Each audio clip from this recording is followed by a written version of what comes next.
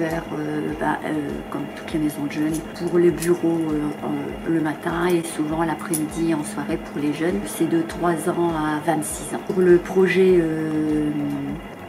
éco-responsable, on a créé un atelier le vendredi soir de 16h à 17h30.